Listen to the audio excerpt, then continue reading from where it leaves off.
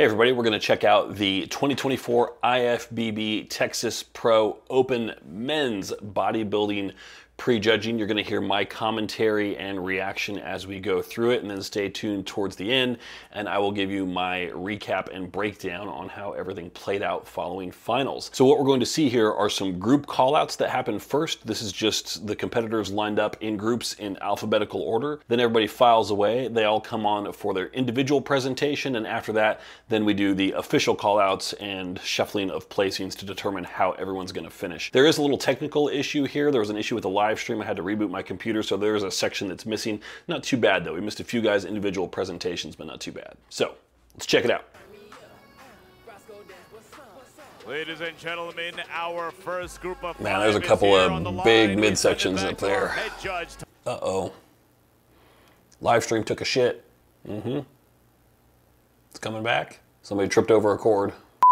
So when you're going to go back and look at those. Okay, we're back from technical issues here. I don't know what happened, but the live stream took a dump on me. So I don't know what I missed. Clearly, we're in with the guys here, but. Uh, we got Yisheng Chang, known as the Chinese mass monster, coming off another Chinese mass monster. That's racist. Vancouver earlier. Very nice shape. Does have a really good shape. So he was 11th in Tampa last week, 7th in Vancouver before then. Yeah a little soft in that hamstring and glute. Yeah, upper body looks great. Good midsection control.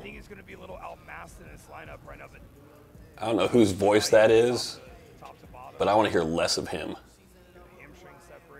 That was a good shot. Hamstrings are kind of gnarly. His color is off. That's correct.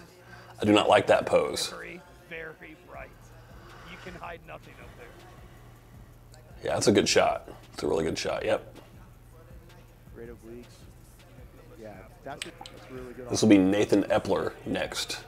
All right, next up, we know who this is. Nathan Epler. Nathan Epler. He was fourth in Chicago. Indianapolis, Indiana. Had an amazing showing at Chicago Pro. He did. Yeah. And he's, he, uh, he's definitely better here. Yeah.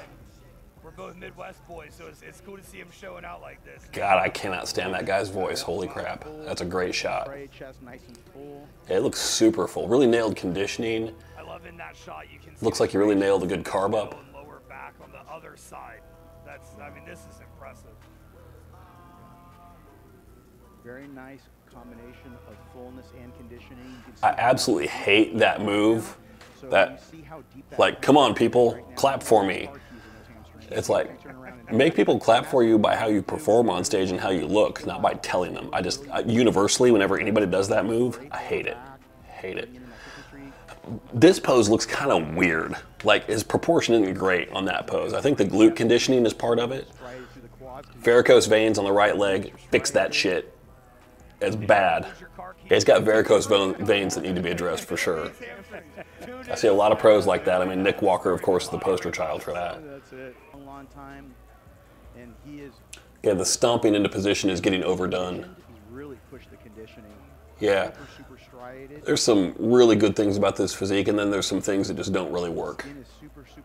It's kind of ridiculous to look at a guy like this and say he needs more mass, but it's just like he's got mass, it's just not all in the right places. Like his delts are really getting overpowered by everything else. His midsection there, it, I mean, he's already like put really, really struggling to hold that in. Back is not very wide there at all look like we don't really work out there. Yeah, so his his midsection is hard to control. Like that looks great. He's just struggling to control it on other poses. He just has very weak lats. Very weak lats. He's got a lot of really good muscle maturity. Muscle maturity is just them saying you're old. Here's Dorian Haywood. He's one of the guys I wanted to watch. This is his fourth show. Did New York and Cali in back-to-back weeks, couple months off. Tampa, I think he finished 12th there. Earlier this year. It was last week, dude. Lucky brought a little bit better look to Texas. I mean, honestly, this looks like his fourth show of the year. he looks very comfortable. He looks tired. For open men's bodybuilding, one of the things that I'm watching the most is can you control your midsection? This is really good conditioning. This is okay conditioning. This is not really good conditioning. This is pretty okay to good conditioning. that back is soft. It's He's also not square. he's off angle. That shot there, he almost looked totally relaxed, shaking like hell right now. And now we're going to be able to see how they how that matches up. Yeah. His placings have been 13th, 10th, 12th. That looks about right. It's Probably going to be something along those lines today, too. Now we have Jordan Hutchinson, who is fifth in Chicago, third in Tampa. Very excited about this. Yeah, I think Jordan. So third last week. Third in Tampa Pro just a couple weeks ago. Last week, not a couple weeks ago, it was last week. Jesus Christ, guys. I don't know what he looked like last week. I didn't watch the Tampa Pro. Chest is nice and This is good. Doesn't blow me away. The glutes are really pushing. Yeah. So you see how Lower body is ridiculous, and upper body is just soft comparatively. I like that because you can really see a di- from. It's a good shot right there. Is separating him from being a third place at Tampa to a first call out, seventh, eighth place at the Olympia right now in your eyes, other than just, of course, he needs more muscle. That's the what it really comes down. Yeah, to. I mean, you put him next to the guys that are winning these shows, he's just going to be smaller. That This really, is pro champ trying to make it a three. So okay. It was pretty ridiculous. Um, like this is like you know the real guy just showed up on stage. See the conditioning is a little to your right. I mean, this is this is light years ahead of anybody else that we've seen so far today. Again, I missed the first few guys, but um, it's like okay, so everybody else is going for second, I guess. Now, this is a place for every- glute, glute hamstring is there. It's not the tightest that we've seen, but it's tight enough. I don't think this is quite Derek Lunsford, Hadi Choopan type conditioning, though. What do you Well, they aren't here on stage, so it doesn't fucking matter. working on, but Like that's insane. That is absolutely insane. Yeah. butt sweep looks better. His chest is looking better. I mean, Yeah, it is insane. And uh, like I said, we got to just take some time and appreciate what we're seeing right now, which is a world-class physique. He's way better than he was last year. I mean, everybody on stage here is a world class physique. Let's not undersell him by saying that. When I say somebody doesn't have this or they're missing that or they're kind of like meh, that's meh in the context of, well, they are world class though. So let's just keep that in mind. It's all relative. I'd like to see somebody beat that. Uh, talk about that mental approach while we introduce this athlete. Yeah, sure. Next up, we got Anthony Jail coming on his rookie year. Had a fifth place finish at the Portugal Pro earlier this year. Nice. I mean, biceps kind of overpower everything else. Have different trigger mechanisms to be able to allow them to elevate. It's a good shot there. Like to have that Like he's not winning this show, but that's a really impressive shot. That's a really good pose for him. assassin mode drink nicely. Yeah, if this is really his first uh, his first season as a pro, doing fourth shows, I think makes a lot of sense. The shows in Italy, he took fifth, fourth, and fifth in Spain, Italy, and Portugal, respectively. I don't see him taking a top five spot here based on what I've seen so far. Um, but that's a really good good base of experience for your first year as a pro. You know, he's he's from France, so do three shows closer to home. Go to the states, do a show there. Now I would call it after this. I wouldn't keep doing it. I think his mid- it didn't fit the rest Felix Norman physique as a is next. So he did Chicago, finished 11th, and then last week in Tampa was 7th. Following his career, I'm friends with his, his coach, been following him a very long time. Yeah, really good physique, really good balance. Yeah, he got seventh at Tampa. Do- doesn't have the wow factor. They said rookie year doesn't doesn't look like a rookie to me.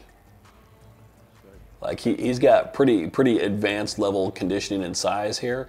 It's just you know he's not. More thickness the back. So I think he's not winning this show, right? But like it's it's a good showing. Um, What pro condition little thick in the uh, midsection and the lower back on that pose. everyone's shooting for without Like that's the thing on the side poses, you can suck it in. On the front, you can vacuum in. On the back pose, if you've got weaknesses in the midsection and you're a little thick back there, it's hard to hide it. as he does more reps on stage, he's going to get more confident. He's going to get let his nerves settle. He doesn't look all that nervous to me. I mean, here's the thing: you're you're a pro, right? This is his third pro show of the year.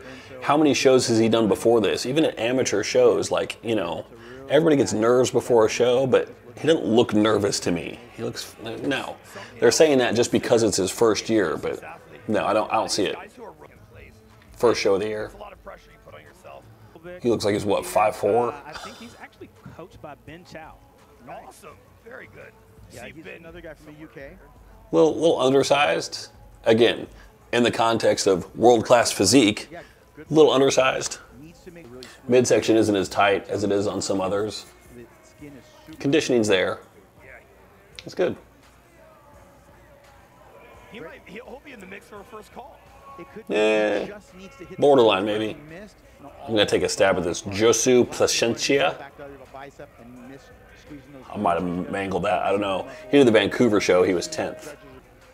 Keep that midsection tight when you walk into position, dude. Like you can suck it in. Don't blow it out. Oh God, no. Oh, he's got to control that midsection.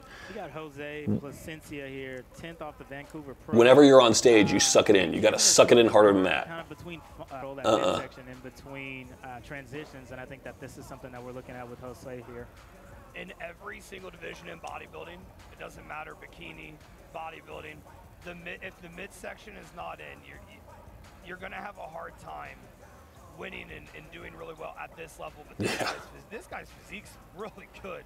He's got big arms. He's got This guy's physique is okay. my goodness. Very long torso. Like he's got some strength, but he's got a lot of holes too. Time to fill out. What do you think about that? Uh, no, there's just no control. Like he was actually like blowing out his gut right there. Like, no, no, no, no, no, no. That's just it. One of those. That's one of those things that I see that, and I think like, how does somebody that has the habit of doing that get on the pro stage? Like you just you can't you can't do that. You can't do that. Styles coming over from the Yeah, I mean this is this is one of these kind of. Like his legs look ridiculous. His upper body is average at best. Right? I mean, You know, we normally go. suck in that gut, dude. Gee, you got to realize in that side pose you're exposed. Like we can all see it. We can all see how distended your gut is. You still aren't sucking it in. Suck it in. Jesus. I mean, it's just it's a rookie amateur mistake. Suck it in.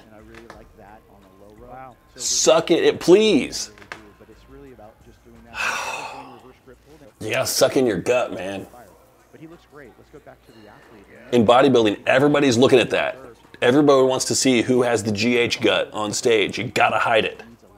You just gotta do better than that. it. Not good enough. Not good enough. His whole upper body is just off and slow. No midsection control on that turn. Things are nice and dry. No, do, hit an abdominal thigh for us. See if you can show us then. Yeah, you can control it. It has to be like that the entire time you're on stage. He's putting on for the athletes that have the tattoos as well. A lot of, very common. I know. The athletes that have the tattoos. are my tattoos going to affect my placing? No. Nathan is up there rocking. 13th in Tampa. A lot of these guys coming over from Europe doing multiple shows back to back, which is, you know, obviously for um, financial reasons, the smart way to do it. Like if you're going to make the trip to the States, do a couple shows while you're here. Solid physique, very well balanced. Midsection really is lacking a little bit here, like the definition. The shape is there, the control is there. Suck it in. He looks spectacular. Wow. Yeah. This is the first call out look for me. Like that pose is awesome. Yeah. His side shots are awesome. You know, actually, Now, is his back going to show through? That's the real question here. Glute hamstrings just need to be a little bit drier. Yeah, but saying that somebody could have a little bit tighter condition is almost universally correct. When you can't say that, it's the exception. Of course he could, but it looks good. His back is a little weak. His back, those side shows, uh, side poses. If I were him, I would be spending all my time on stage in those side poses because they look insane. Really, really good. Yeah. He looks great. I. I. I don't think it's a leanness issue at all. Yeah, that was really, really good. Really good. So I missed the first four guys here, so I didn't see them. But we'll see what we got. Uh, Lewis Breed, I did not see. He was fifth in Tampa. Ben Chalska. The I want to see Lewis Breed. Has great X-frame. The Asian gentleman, Yishan Cheng. That's going to be really. Is his name. showing sign. Okay. Four guys in the first call out. Nathan, Jordan, Andrew. So Lewis Breed is on the left there. There you go. There you go. Now, Lewis Breed, Nathan Epler, Jordan Hutchinson, Andrew Jacked. I don't agree with Jordan necessarily. I don't think so. Granted, when I was calling, when I was thinking guys would be first call out, I was thinking they'd probably have six or seven up here, not just four. Oh, you wanted to move him one more. Okay, there you go. I yeah, see it, next yeah, to right See, side that's, by that's, side. that's Yeah, so that's Nathan Epler and Andrew see Jacked in the middle. Lewis versus Andrew. I mean, to me, Jordan Hutchinson doesn't belong in this call out. Like, he's the clear fourth. There's first, second, third, there's a lot of distance, and then there's fourth. So, Lewis Breed also on the left. This is my first time seeing him, so I don't know what he looks like from behind yet. To be clear, Andrew Jack is winning this show. I mean, there's not a lot of suspense here, right? Give me a break. Obviously, Andrew is an So Lewis on this shot here, the lower body looks great. That quad hamstring glute separation, just like anatomy chart level detail, really good. Lewis, his back pose is not right. Like- He's not hitting it correctly. yeah, I mean, that pose is Andrew Jack and everybody else. Symmetry. ridiculous. And for him to be taller than everybody else on stage is just unfair. There, there's a technical term for a guy like Andrew Jack, and that term is asshole. Like, fuck that guy. I'm sure he's the nicest guy in the world, but I hate him. I think he looks great. in, in the best possible way, I hate him. Give me a break. Instagram this week that he was ex- yeah, yeah. You're you're not gonna want you're not gonna want to see those photos though. Like you standing next to him, like it doesn't look good. Close. No, they're not. Very, very, very. They're really not. Edges him a little bit. Uh, unless, like, is there just something I'm not seeing about Jordan? Like, I mean, again, world class. His physique is not impressive in this lineup. Not to me. Legs are a little fuller here. And where Nathan Just the, the back shot. He's got the weakest back shot up there. the glute right now. Yeah, Lewis's midsection is really kind of kind of hurting him here. Andrew's Andrew. Now we're taking a at everybody. So far, Is it? I mean, I think so. Really good friends, so I believe they train together sometimes. I, I, I might. Now, wrong, but I'm pretty sure- Jordan is looking better as they pose here. Definitely a battle, guys. This is not a clear cut one. Like the more I look at it, I think he might be They're, brought it. All four of these guys. he might be brought it. passing Lewis for sure. Wow, Dorian made this call out. How many are in it? Yi Shan Cheng from China, he's in there. Dorian, Dorian, you got uh, Anthony, and Felix. Felix. Yeah. Yeah. Hmm. Okay, interesting. So we got So Felix, second from the left, was seventh in Tampa last week. little too small against the other guy. He kind of looks like he's in, in line for like fifth or sixth here. Great shape. Great shape, just Anthony from France next to him, sharing center with him. Don't lose that midsection. That Fifth in Portugal a while back. Dorian off to the left. I don't think he belongs in this call out necessarily. I see him being eighth realistically. He comes back here. And then Chang, Yishan Chang, um, man, I just really like it. He's undersized compared to the other guys. He's just got a really good physique, though. Just really sharp. Good shape. outside on the left. Not dark enough here. Really good set call it his defense. This is where he loses it. Edge of the- Chang, he, he's, he loses it on this pose here. Maybe a little bit of a conditioning thing on the edges. I just don't see Dorian really belonging in this group. I mean, I hate to say it. I think he needs a little bit of ground because a little bit better to be Yeah. I don't disagree with that. His posing's a little off. Dorian. I would like to see Anthony. Yeah, I would like to see Anthony compared to Lewis and Nathan and Jordan. Yeah. Yeah, I don't disagree with that. Like really good things going for him. Put Anthony in that first call out group and see how he stacks up.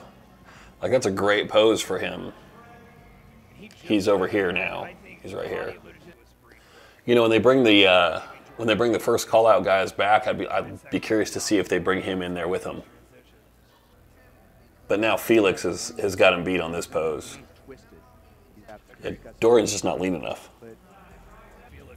Yeah, Fe- Felix right here. That's a great pose for him. was his coach.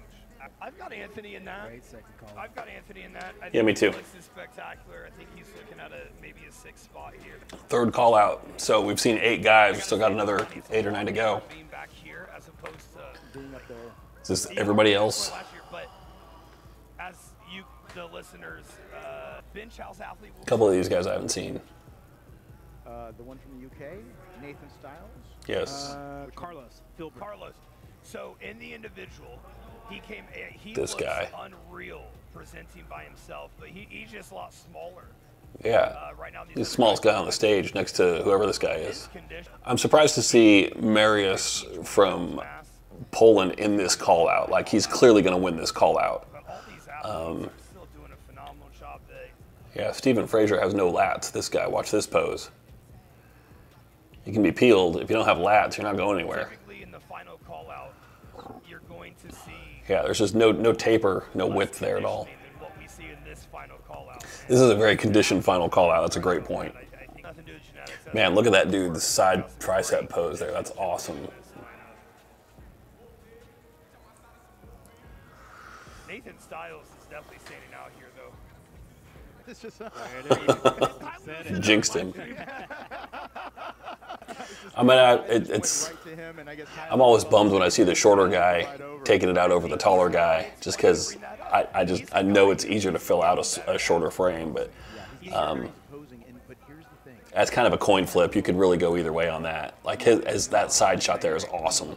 It's a really good side pose. and the neck and his hamstring. Yeah, I really like Marius in that pose. The problem is he took too long to get into it. Kept waiting for him to hit it. He took too long. Gets to the night shoot. He's got This is that situation though. If you're on the outside wings here at this point, you've been on stage for a long time. This is where you're saying like, "Fuck, get me off this stage." Like you know you're coming into the bottom of the bottom of the heap, and you're just so fucking tired. Like, get me off the stage, please. He, he's having trouble. I've been there. His hands sweating a little bit.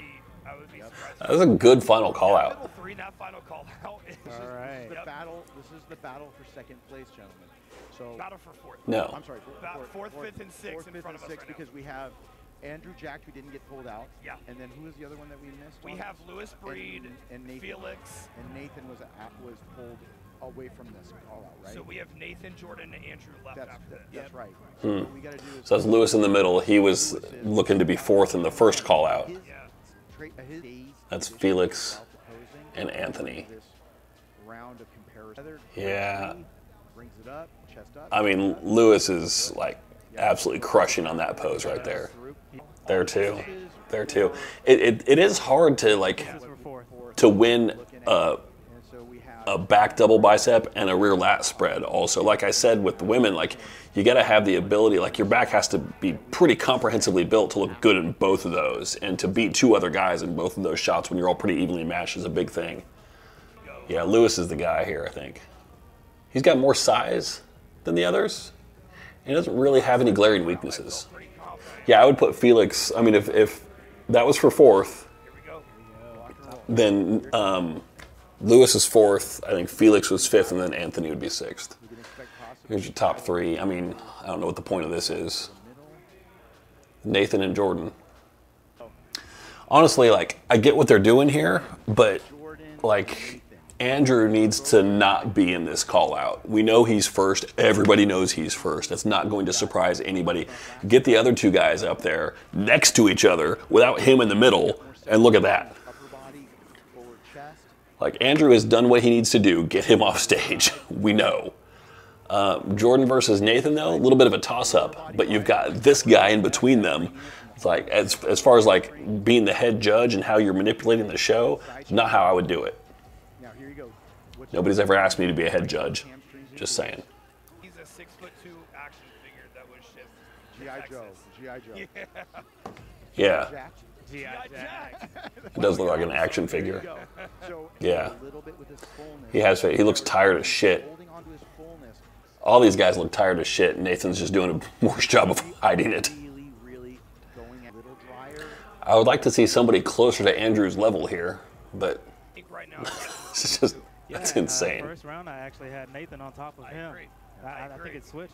I don't think it's any fault of Nathan. I think To be honest, as far as second and third, I think it's a coin flip. Realistically, um, I really, I, I, I stand by the fact that I had Jordan at fourth initially um, in that first call out, but here it uh, with him right like he definitely kind of was gaining ground as prejudging went on and definitely started to look a little bit better. So I think The Andrew Jack he might have crawled all the way up to second, maybe third, could be either way. To be honest with you.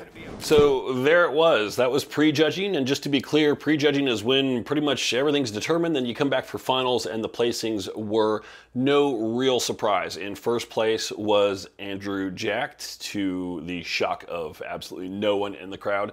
Second place uh, did end up being Jordan Hutchinson, well earned, I thought. Uh, third was Nathan Epler, and then fourth was Lewis Breed. So Uh, not a not a huge surprise there. Like I said, I feel like it could have been a coin flip between Jordan and Nathan for second and third. And realistically, it just goes to show like how much things can change when people first come out, like in the individual presentation and the start of the callouts, and then you go through everything, and then you bring the the top guys back on, and everybody looks a little bit different. Like I did not think that Jordan looked particularly strong at the start of prejudging. I mentioned that I didn't I didn't think I didn't have him placing very high. To his credit, he got better and better as prejudging went along, and so I feel like it was it was earned. I don't think if either Nathan or even Lewis had crept into a higher spot, you could really argue that too much. Um, I think there's there's valid arguments to be made all around for that. Rounding out the top eight after that, we had Felix Norman in fifth, Anthony Gel uh, in sixth, Yisheng Cheng in seventh, and then Dorian Haywood in eighth.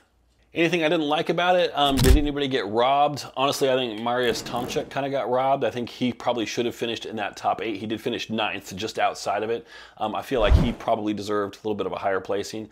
Um, as I noted at the end of the women's physique recap video, which I posted yesterday, this is really the last big pro show of the year in the States. There's a few master shows still on the agenda, and there are shows in, I believe, France and the UK still to come. Um, but this is it for the States, and then we're looking at the Olympia in mid-October. So the Olympia qualifications aren't exactly finalized, but they're pretty close to it at this point. So it'll be curious to see what happens then. I will probably be back um, to keep you all abreast of what's going on then. So thanks for watching. See you then.